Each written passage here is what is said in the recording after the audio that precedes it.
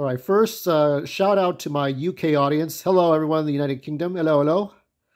Uh, I call it UK. Uh, anybody out there on uh, who I've interacted with on Twitter. To the one guy, I forgot your name, but thank you for correcting me about uh, Kelsey Grammer versus uh, Paramount, not NBC. I think NBC would have said something if Paramount didn't. You know, NBC, CBS, ABC, Paramount, what is it? Universal or Disney, they would have all said something. You can't you can't vote for who you want. But anyway, let's go on to a you know similar corporate news. Yep, Hasbro McFarlane Toys. Now, when I saw this earlier, uh, the first article that published it then said that the page doesn't exist. So I got suspicious. I waited a moment, and I looked around, and I looked on Bing.com, and it was all over the other websites. So I don't know what they did. I don't know if they put a hit piece on this or what, but this is true. Uh, McFarlane Toys and Hasbro are working together. Now let's get to the dark part of this. Now they're laying off, what, a thousand people in the U.S.? Um, they want to get AI. Um, I can almost applaud this if I was the devil himself. Um, I can understand from a corporate point of view. Now, from my from my childhood, I remember Playskool. Play School was the original founder of Mr. Potato Head. Kenner Toys, which made the DC Comics stuff, the animated series, licensed out. And Milton Bradley, which made the original board games, uh, licensed out Pokemon. Now Hasbro owns all three. Do you think owning all three companies has cost Hasbro their dignity? Or do you think, you know, did they need to acquire all these things? Hasbro has acquired a lot of things. Um, who owned D&D? Does anybody know? So D&D, uh, whatever company that was, Playskool, Kenner, and uh, Milton Bradley. Now Hasbro. Now Hasbro's in trouble.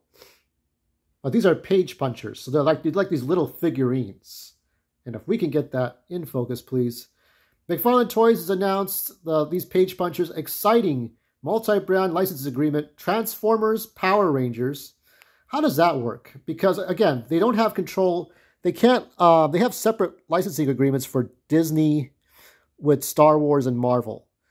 But I think there's some sort of international sort of red tape they can afford here with Power Rangers. G.I. Joe. So G.I. Joe, Transformers, Power Rangers, I think there's a back door to this kind of thing. So these are pages. So it's like a comic book, right? Imagine a, a comic book size. Uh, I don't like this one I have here. Snap my fingers and it shall come to me. Shit. Magic Time. See, that's the comic book right there. So imagine a comic book like this, and then you have a character. So you have like a little figure. I mean, that's what the page punchers are, okay? Little figure that fits in your hand, and it's right next to the comic book. So that's essentially what you're getting here. So back to the article. So yeah, you will not be getting Disney's uh, star, no Disney properties, but everything else. Um, let's see. It's an exciting program for us because it, it gets comic books into people's hands. So this is all kind of a spiel here. Um, what I think is that it, it's going to be sad that a lot of people lost their jobs. I think some people knew it was coming. They knew that day was coming. Some people got out. Applaud to you all that got out early. Good on you. Maybe you can work at, um, what are the toy companies? You can work for Lego. Lego Lego never cheapens out, you know. I guess they can make have AI make the damn bricks. But they want AI to make the toys. Uh, there's still a Diceling from the D&D that I have not been able to get a hold of. It's supposed to come out in April, and I'm really pissed. But I have every other Diceling, the one that transforms from a 20 die to a creature, and I like those ones. But I haven't found much else. And what else is there? Um, yeah, McFarlane Toys is probably the best thing you could have right now.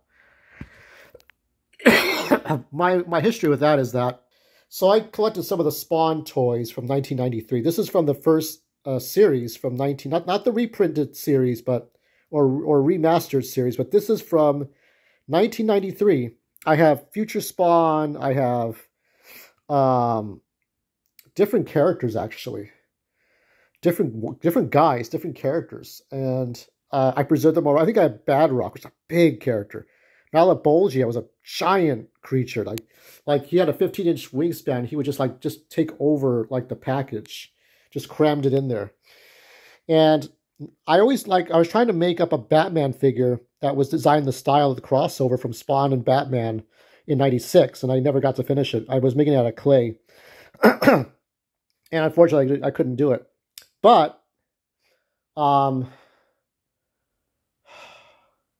lost my train of thought here.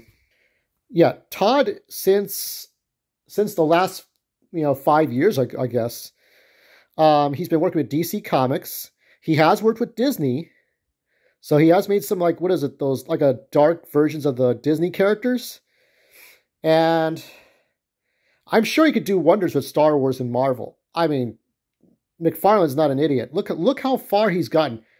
Remember we thought, okay, how many more Spawn figures is he's going to make? He made sports figures. So if I'm happy for anyone right now, it's Todd McFarlane. Uh, Hasbro will have to figure themselves out. If they don't sort themselves out, um, they're they're going to be bought out.